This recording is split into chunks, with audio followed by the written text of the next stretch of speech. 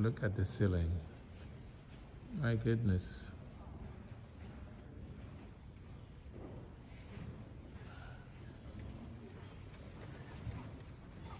Still apartment de Napoleon.